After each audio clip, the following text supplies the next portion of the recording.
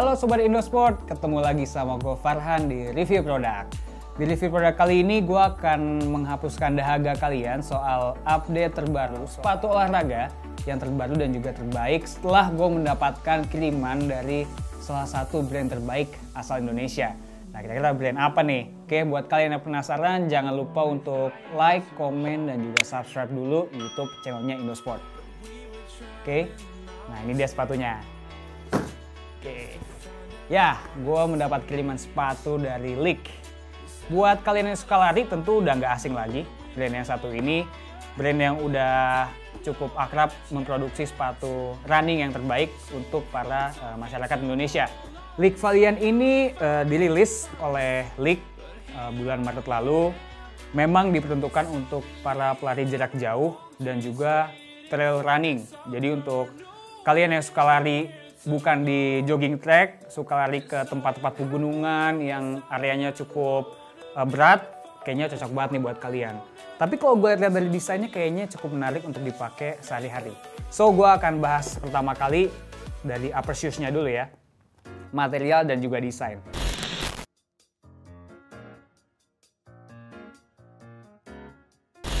Uh, warnanya merah, nyentrik banget, eye catching dan juga bahannya di sini mesh ya. Saking tipisnya mesh ini lu bisa lihat jempol gue kelihatan cuy di sini ya.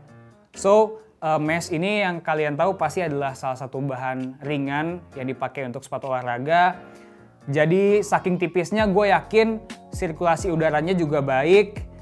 Buat kalian juga yang pengen bermain warna di sini uh, dengan kos kaki dengan warna selain merah, ini kelihatan banget uh, eye catchingnya penampilan kalian. Jadi kalau kalian pakai kos kaki putih, kuning, hijau, gue yakin kelihatan juga sih di sini tuh jempol gue tadi kan juga kelihatan di dalam.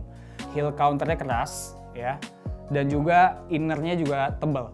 Jadi sangat bisa melindungi kaki kalian, ankle kalian uh, ketika kalian lari supaya nggak gampang cedera gitu. Nah selanjutnya gue mau bahas soal bagian ternyaman dari sepatu ini yaitu adalah mid midsole ya, terutama cushion dari League Valiant ini.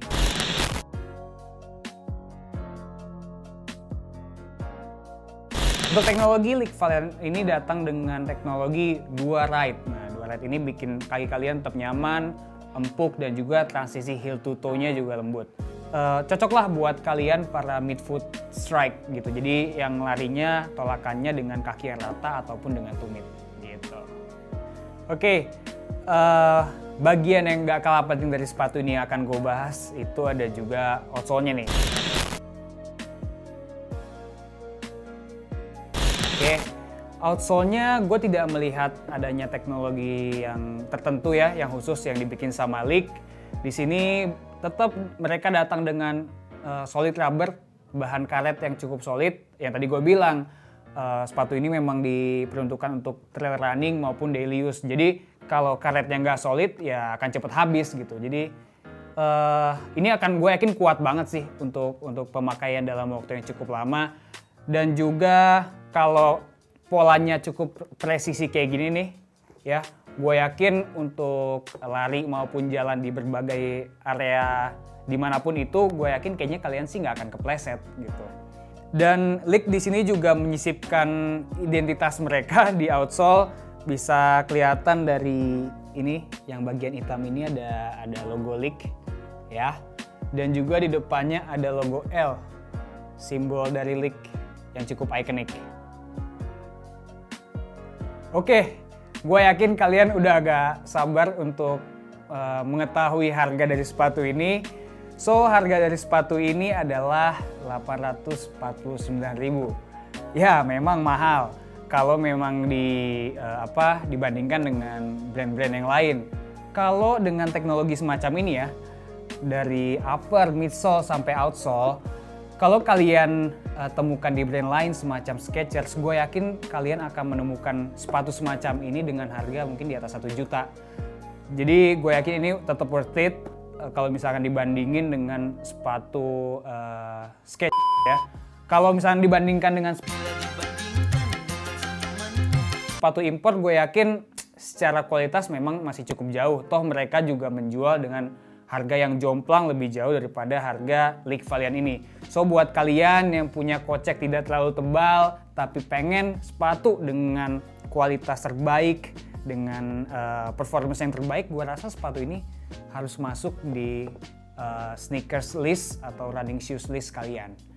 Kesimpulannya tentang League Valiant ini, jujur gue kalau dikasih sepatu ini dan buat gue, gue akan pakai ini untuk mau olahraga maupun daily use gue akan pakai. Kenapa? Karena secara look dan desain ini mahal cuy. Desain ini desain mahal. Uh, gua akan pakai kos kaki yang tentu nggak warna hitam sih supaya nanti ada perpaduan warna yang asik. Full mesh-nya juga terkenal ringan jadi buat pakai ngantor, pakai buat jalan-jalan ke mall ini sepatu asik banget sih. League Valiant uh, datang dengan dua warna, gue dapat yang merah dan kalian juga bisa uh, mendapatkan di store League warna yang abu-abu. Nah, jadi tinggal kalian uh, cari-cari aja tuh enaknya sepatu yang mana, warna yang mungkin nyentrik warna merah, warna yang sedikit monokrom yang bisa dibawa ke mana-mana mungkin kalian akan pilih warna yang abu-abu. Oke, mungkin itu aja uh, review produk kali ini uh, gua tentang League Valiant. Buat kalian sobat Indosport yang mau uh, review produk yang lain, coba tulis dulu di kolom komen di bawah mau review sepatu apa dan yang pasti tolong dong gue minta like-nya dulu nih buat review produk. Dan gue janji ke kalian untuk gue bawa sepatu lain dengan uh, brand yang terbaik lagi, dengan warna dan juga teknologi yang up to date. So, gue tunggu like, komen, dan juga subscribe dari para sobat Indosport sekalian. Oke, okay? gue Farhan, I'm signing out. Bye-bye.